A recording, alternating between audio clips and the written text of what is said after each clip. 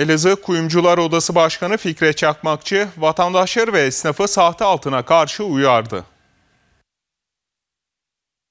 Altın fiyatlarıyla beraber sahtesi de arttı. Elazığ Kuyumcular Odası Başkanı Fikret Çakmakçı, vatandaşları ve esnafı sahte altına karşı uyardı. Teknolojinin gelişmesiyle birlikte gerçeğinden ayırt edilemeyecek ürünler yaptıklarını aktaran Başkan Fikret Çakmakçı, kuyumcuların özellikle yoğun oldukları zamanların seçildiğine dikkat çekti. Teknolojinin gelişmesiyle o kadar orijinal, o kadar şeyler yapılıyor ki yani inanın bizler bile belli başlı evreleri yapmadığımız sürece biz bile yani gözümüzden kaçırmış olabiliriz. Tabii bu tür şahıslar özellikle bizlerin yoğun olduğu yani e, elimizdeki veya sattıkları altını inceleme şansımız olmadığı, kalabalık olduğu dönemleri seçip yani esnafın bir boşluğundan faydalanıyor. Çakmakçı, kuyumcular tarafından vatandaşa sahte altın satılmasının söz konusu olmayacağını ancak rekabetin olduğu illerde düşük ayarlı altınların satılabileceğini ifade etti. Vatandaşın kuyumcu tarafından sahte altın satılması diye bir şey söz konusu değil. Hiçbir şekilde, hiçbir ilimizde. Burada mağdur olan tamamen kuyumcu.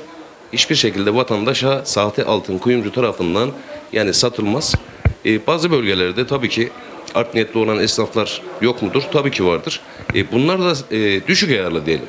Yani tam e, sahte olarak değil de yani belli başlı atıyorum 22 ayar bilezik e, yerine yani patenti belki 22 ayardır ama raporlarını yaptığımız zaman bunların 20 ayar 21 ayar satılıyor. Bunun en büyük sebebi şu rekabet olayı.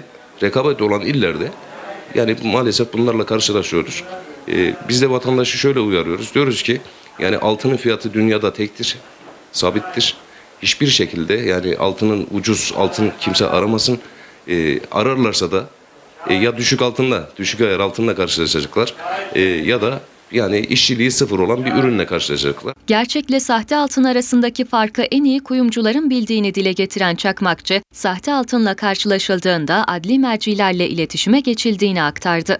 Büyük tecrübemiz yani görüntüsünden de anlıyoruz, gramından da anlıyoruz, sesinden anlıyoruz. E bunları zaten hemen tespitimiz esnasında adli e, önce kolluk kuvvetlerine sonra da adli mercilere işlemleri yapılmak üzere gönderiyoruz.